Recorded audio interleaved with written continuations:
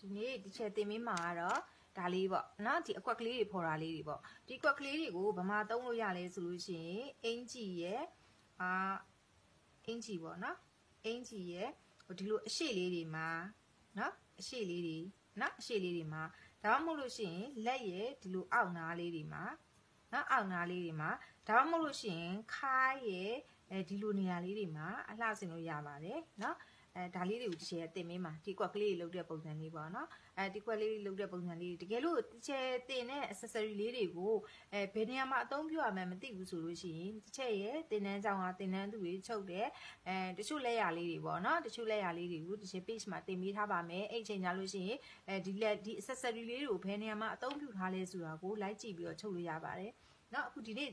ဒါလေးကိုပထမဆုံးသင်မိမယ်เนาะ ဒါလေးသင်ဖို့အတွက်ကိုပထမဆုံးဘာလိုအပ်လဲဆိုလို့ရှိရင်အဲတီချာတို့ site ပေါ့နော်လက်ဆိုလို့ရှိရင်လည်းလက်ရဲ့အရှိဘယ်လောက်လိုချင်တာလဲလက်ဝါဘယ်လောက်ရှိတာလဲနော်ခါဆိုလို့ရှိရင်လည်းခါရဲ့အဲခါရဲ့အရှိခါရဲ့ပက်လေကဘယ်လောက်ယူမှာလဲ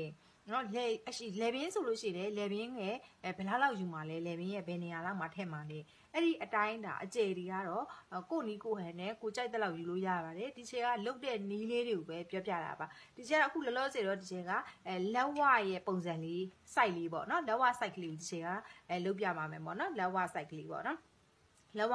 အဲလောကမှာပက်တဲ့ site ကလေးပေါ့နော်ခါဆိုလေခါမှာပေါ့နော်ကိုယ့်ရဲ့အရှိအတိုင်းတာကိုကြိုက်တယ်လို့ယူလို့ရပါတယ်နော်အဲတော့ဒီဟာလေးလုပ်ဖို့အတွက်ကိုပထမဆုံးဘာလို့အပ်လဲဆိုလို့ရှိရင်ဒီချာတော့ဒီလက်မှာပက်တဲ့ site လေးပေါ့နော်ဒီ site ကလေးကိုဒီချာလုပ်ပြမယ်နော်အဲဒီချာ page မှာဝင်ကြည့်လို့ရပါတယ်ချို့တင်တန်းသူတွေ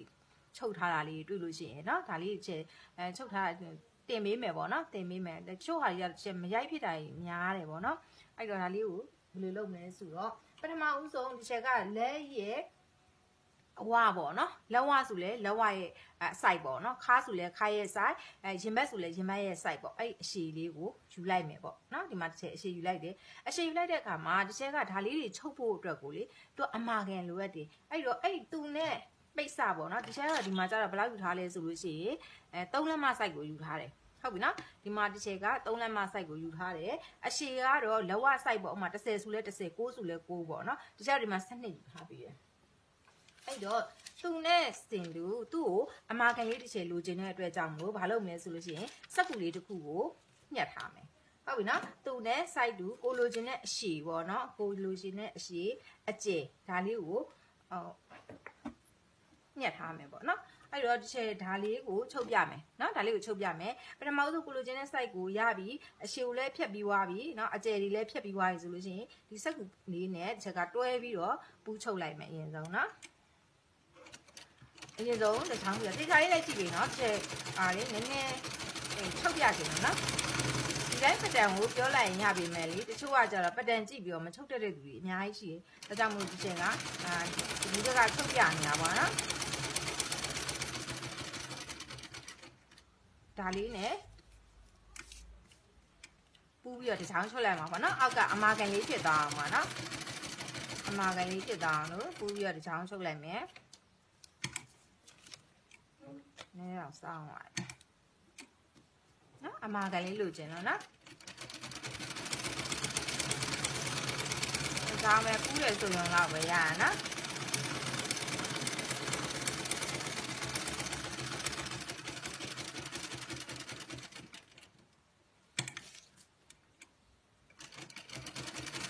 ရှည်တွေပါရတော့နော်ကိုလိုချင်တဲ့လောက်ယူလိုက်မယ်အဲ့တော့ပူးတယ်ဆိုရင်လောက်ကိုချဲချုပ်ပြီးွားပြီပေါ့နော် ချုပ်ပြီးွားပြီဆိုလို့ရှိရင်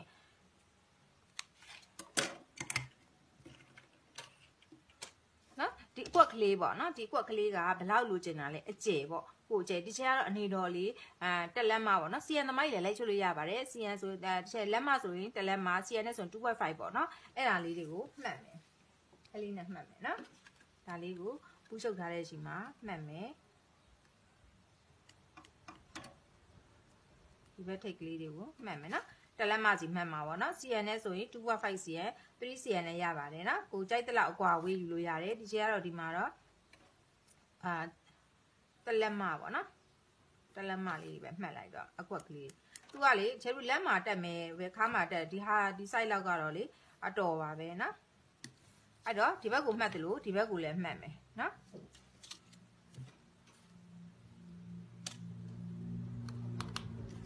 ဒီဘက်ကိုလည်းမှတ်မယ်နော်ဒီမှာတလက်မဆိုလဲတလက်မတလက်မနှစ်စိတ်ဆိုလဲတလက်မနှစ်စိတ်မှတ်မယ်နော်တေချာလေးလိုက်ကြည့်ပေးပါနော်ဒီချက်ကအဲသမင်တကူးတကယူတက်တက်မဲ့အာချုပ်ပြနေတာပါနော်ပညာဒနာအနေနဲ့ချုပ်ပြနေတာဟိုပတန်ကြီးပဲပြောပြလို့ရှိရင်လေတချို့ကလေဟို line မချုပ်တတ်ဘူးပေါ့နော်မချုပ်တတ်ဘူးဖြစ်နေတဲ့အတွက်ကြောင့်မို့ချက်ကဒါလေးကိုချုပ်ပြတာပါနော်အဲ့တော့အဲတလက်မလေးတွေမှတ်ပြီးသွားပြီမှတ်ပြီးသွားပြီဆိုလို့ရှိရင်ချက်က ဘာလုပ်မလဲဆိုရင်ဒီအချောင်းလေးလုပ်မယ်နော်ဒီအချောင်းလေးဒီအချောင်းလေးလုပ်ဖို့အတွက်ကိုသူ့ကိုအဲ site ကတော့အကျေပေါ့နော်တလက်မပြားလေးတစ်ပြားကိုညှက်လိုက်မယ်သူ့ကိုဘာညှက်မလဲဆိုရင်ဒီချက်ကတော့အဆွေသားညှက်ထားပါတယ်နော်အဆွေသားကိုညှက်ထားမယ်တလက်မပြားတလက်မပြားကိုအဖြန့်နော်အဖြန့်တလက်မပြားကိုညှက်ထားမယ်ညှက်ထားပြီးတော့ရင်သူ့ကိုဂွင်းလေးလုံးမှာမို့လို့နော်သူ့တချောင်းနင်းမယ်တချောင်းနင်းမယ်ဆိုတာတက်ပြီးတော့ပဲနင်းလိုက်အောင်ပဲသူ့ပြန်ထုံးမှာမို့လို့နော်သူ့ တလက်မပြားကိုခောက်ပြီးတော့တချောင်းနင်းမယ်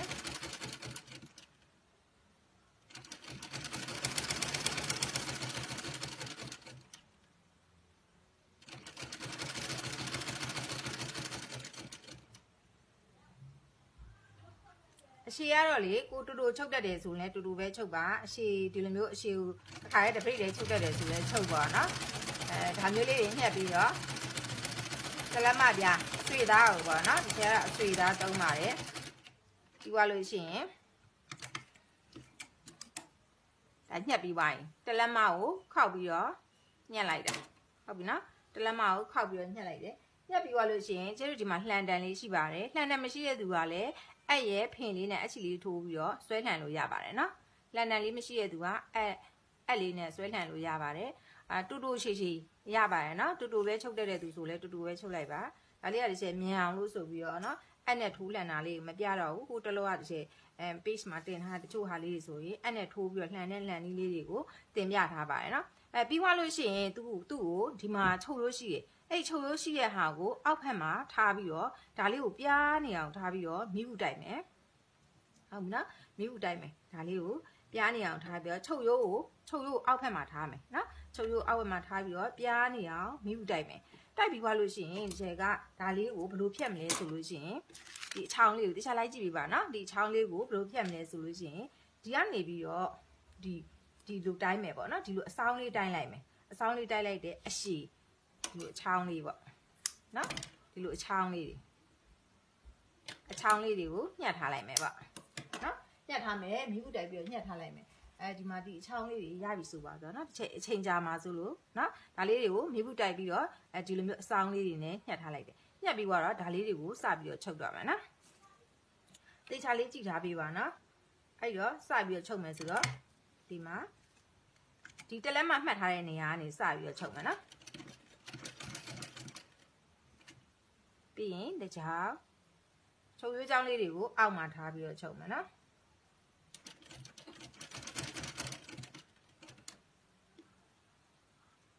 ဒီခုနကတလက်မ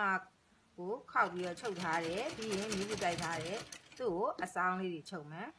ချုပ်ရိုးကြောင်းကိုအောက်ဖက်မှာထားပြီးတော့ချုပ်ပေးပါနော်အကွက်ကတော့တလက်မပဲဖြစ်ဖြစ်ဘလောက်ပဲဖြစ်ဖြစ်ကိုအဆင်ပြေတဲ့ကိုကြိုက်တဲ့အကွက်မြန်ကိုယူလို့ရပါတယ်ဒါကတော့ဒီချေရတယ်အာလုံကြီးလေးကိုပြတာပါနော်ဘယ်လိုမျိုးလုပ်ရမယ်ဆိုတဲ့နီးလေးတွေကိုပြတာပါညံရှိသလိုအသုံးပြုပါဒီကလို့မသိဘူးဆိုလို့ရှိရင်ဒီချက် page မှာ အဲတီရှပ်တင်တဲ့လူလေးတွေချုပ်ထားတဲ့အားလေးတွေပေါ့နော် accessory လေးတွေဘယ်မှာထည့်တယ်ဆိုတဲ့အားလေးတွေကိုအဲဒီချက်တချို့ပုံလေးတွေကိုတင်ပေးပါမယ်ပေါ့နော်ဒါလေးတွေကိုဒီလိုပဲအဆောင်လေးတွေစီပြီးတော့ချုပ်ရမယ်နော်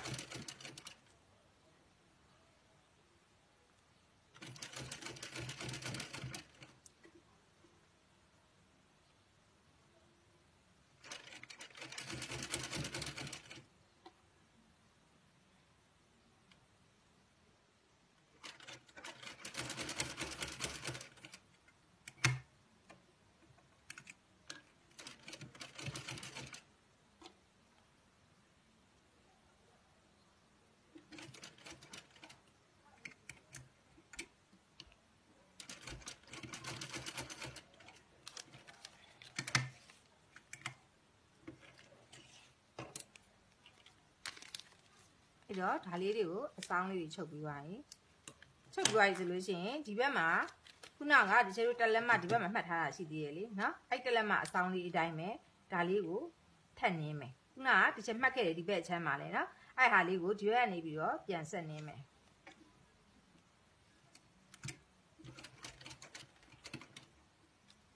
ဒါလေးကိုဒီလိုလေးပဲ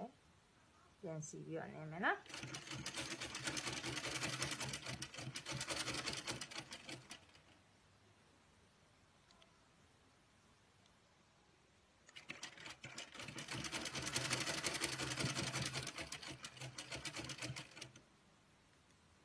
လက်မလေးတွေမှတ်ထားတဲ့ရှိမှာပဲနော်တလက်မလေးတွေမှတ်ထားတဲ့ရှိမှာပဲပြန်စီပြီးတော့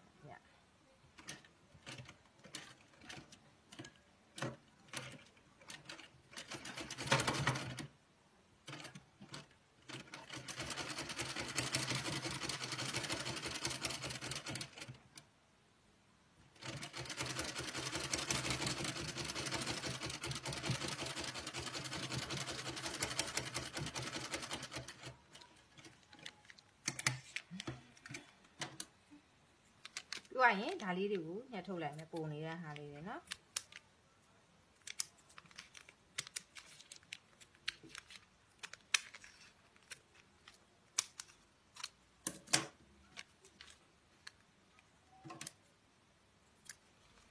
ဒီဘက်ကလည်းပုံနေတဲ့ဟာတွေညှက်ထုတ်လို့ရနော်ဒီဘက်ကလည်းပုံနေတဲ့ဟာတွေညှက်ထုတ်လိုက်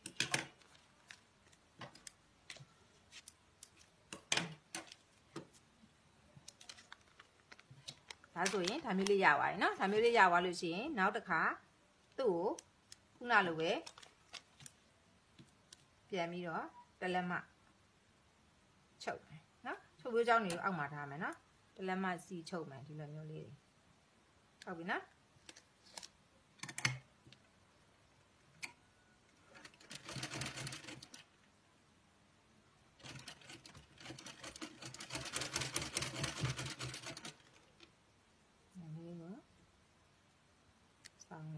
နော်အစောင်းလေးတင်တယ်ဒီချာလေးကြည့်ပေးနော်ဒီချက်မပြောမိရင်တော့မှဒီချာလေးကြည့်ပေးနော်တို့လေတလက်မနော်ခုနတလက်မမှတ်ထားတဲ့နေရာမှာပဲအစောင်းလေးတွေပြန်ချုပ်တာနော်ဒါလေးလေတလက်မမှတ်ထားတဲ့နေရာလေးမှာပဲ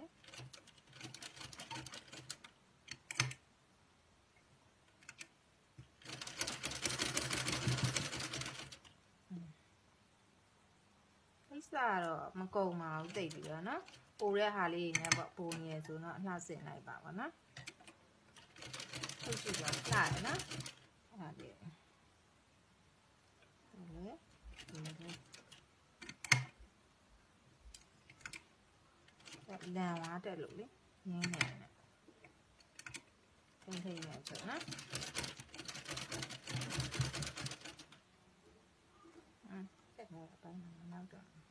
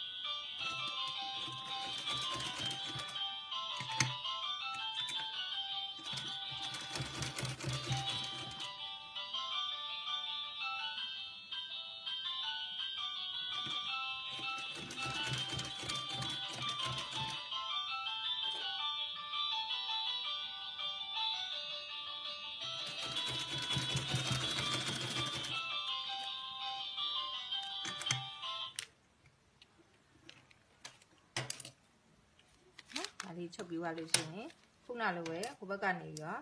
ပြန်နိုင်ပြီးတော့ချုပ်မှာနော်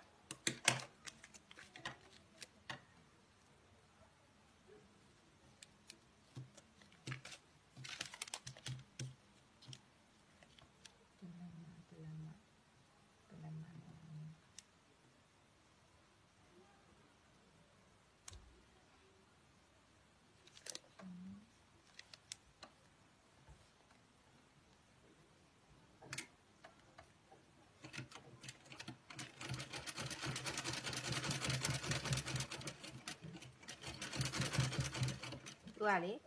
စုံသွားလိမ့်မယ်နော်သူကလေတလက်မလေးတွေနေရာမှာပဲစုံပြီးတော့နင်းသွားရုံပဲနော်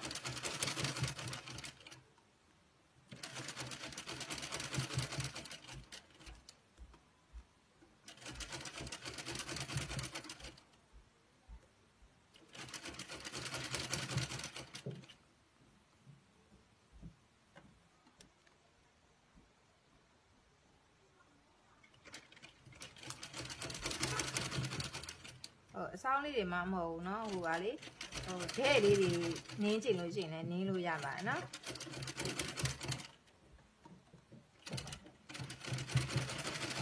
ကိုကြိုက်တယ်လို့ပုံဖော်လို့ရအဆောင်လေးတွေဒဲ့လေးတွေအကွက်ကလေးတွေเนาะအာအကွက်လေးတွေဆိုတာကျူတရန်အကွက်ကလေးတွေကဒီကျနောက်နေ့ကျရင်ထပ်တင်ပေးမယ်เนาะပြီးသွားလို့ရှိရင်ဒီနေရာတွေကိုညှိလိုက်မယ်ဖုံးလာလားငယ်ချက်ချက် စာတင်နေဖုံးလာတော့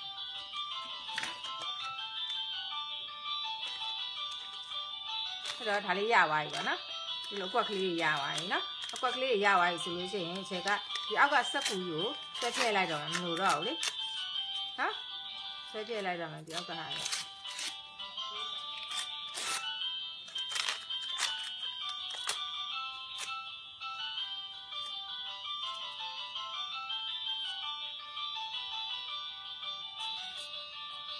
ဒီစက်ကူရမလို့တော့ဘူးနော်မလို့တော့ဆွဲထည့်လိုက်တော့မ ယ်ဆုံးอ่ะ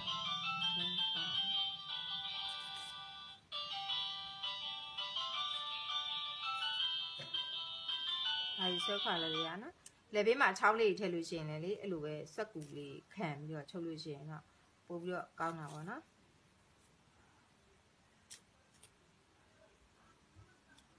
အဲ့တော့ဒီလိုမျိုးလေးဖြစ်သွားပြီပေါ့နော်ဒီလိုလေးချုပ်ထားချုပ်ထားရဆိုရင်ဒါမျိုးလေးရသွားပြီပေါ့ဒါပြီးရသွားပြီဆိုလို့ရှိရင်ကျတို့ဒီမှာအနာလုံးရမယ်လက်လေးဆိုလို့ရှိရင်လက်မှာအနာလုံးတော့မှလေနော်ခပတ်ဟိုခပတ်ပြားလေးတွေမှာဆိုလို့ရှိရင်လည်းအနာလုံးမိသားဖြစ်နေရမယ်အဲ့အဲ့လေးကိုအနာလုံးဖို့အတွက်ကိုဒီချက်ကဒီဟာကိုတစ်ခွဲစားပေါ့နော်တစ်ခွဲစားတဲ့သားနော်အဆွေသားမဟုတ်နော်တဲ့သားတစ်ခွဲစားလေးနှစ်ခုကိုညှက်ထားလိုက်မယ်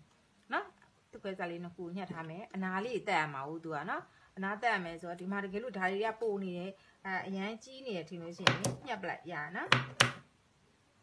ညှက်ပလိုက်လို့ရတယ်ဒီဘက်တွေဒီဘက်တွေညှက်ချပလိုက်နောက်မှဆိုရင်ထုနေမှာဆိုလို့ညှက်ချပလိုက်อืมရတယ်နော်ပွား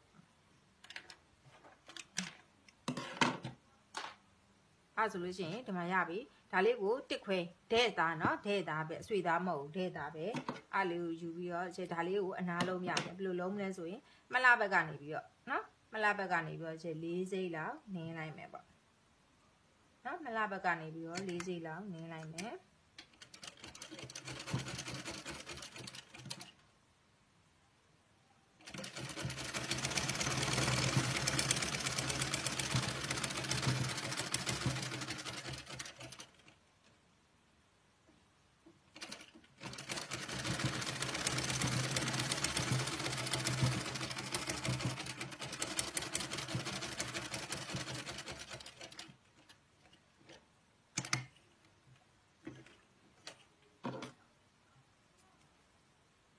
ဘက်ကနေပြီးတော့လေးစိတ်နင်းလိုက်တယ်နင်းပြီးသွားရင်အလားဘက်ကိုလှန်ချလိုက်ပြီဟုတ်ပြီနော်မလားဘက်ကနေလေးစိတ်နင်းပြီးအလားဘက်ကိုလှန်ချလိုက်ပြီလှန်ချပြီးသွားလို့ရှိရင်ဒါလေးကိုဒီလိုလေးခောက်ပြီးတော့အနာခောက်ပြီးတော့ဒီပေါ်မှာခုတ်ပြီးတော့နင်းမယ်ဟုတ်ပြီနော်ဟိုဘက်ကဒီဘက်ပေါ့နော်အဲ့တိုင်းပဲဒါလေးကိုပြန်ခောက်မယ်ခောက်ပြီးတော့ ဒီဘောကိုတင်းနေဒီထဲကိုနော်အတွင်းထဲကိုထည့်လိုက်တယ်နော်ထည့်ပြီးတော့မှဒီဘောကနေတစ်ချောင်းနင်းမယ်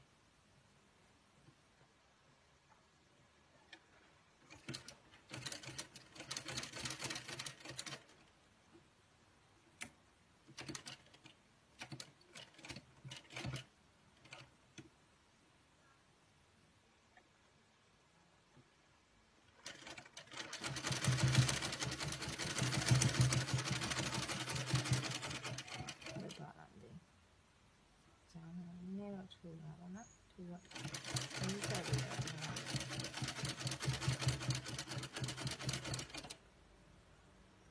နော်ဒီဘက်ကိုလည်းခောက်ပြီးတော့ချိုးရကြတော့အောက်မှာလေးချိုးရိုးတကယ်လို့ပေါ်နေလို့ရှိရင်လေချိုးရိုးတွေဖြည့်လို့ရရနော်ဒီချက်ကအကျန်းထက်ထားတာဖြစ်တဲ့အတွက်ကြောင့်မနော်ဒီလိုချိုးရိုးပေါ်နေလေဆိုရင်အောက်ကချိုးရိုးကရှုပ်ချလိုက်လို့ရရနော်အာယာယီတွဲထားတာမဟုတ်လို့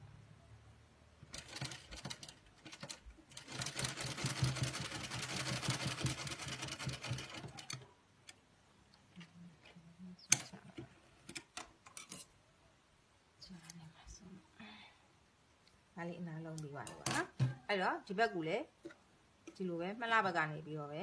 တင်ပြီးတော့နင်းမယ်ဟုတ်တယ်နော်မလှဘက်ကပဲတင်ပြီးတော့နင်းမယ်ဘယ်လောက်နင်းမယ်ဆို၄စိတ်လောက်နင်းမှာပေါ့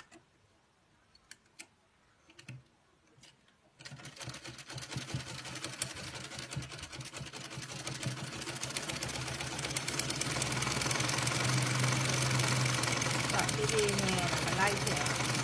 အဲ့တော့နည်းနည်းလေးနင်းလိုက်တော့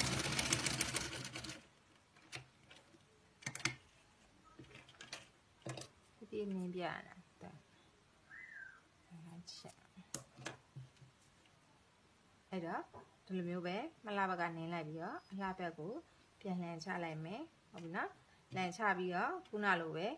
ဒီတဲကိုခောက်ပြီးတော့ဒါကိုပြန်အုပ်ပြီးတော့နင်းမယ်ဟိုဘက်နဲ့ဒီဘက်နဲ့အပြားတော့ညီအောင်နင်းနော်အပြားကိုညီအောင်နင်း ဘာဖြစ်လို့လဲဆိုတော့ဒီအောက်မှာလေးတကယ်လို့ချုပ်ရိုးပေါ်နေလို့ရှိရင်လေဖြုတ်လိုက်လို့ရတာနော်သူကယာယီတွဲထားတာမဟုတ်လို့နော်အဓိကဒါလေးမိသွားမိတယ်လေဘာဖြစ်လို့လဲဆိုတော့အောက်မှာတစ်ချက်တစ်ကြောင်ချုပ်ခဲ့တဲ့အတွက်ကြောင့်မို့မိတယ်နော်မမိဘူးဆိုတာမရှိဘူးအဲ့တော့ဒီအကြောင်းနဲ့ဟဲ့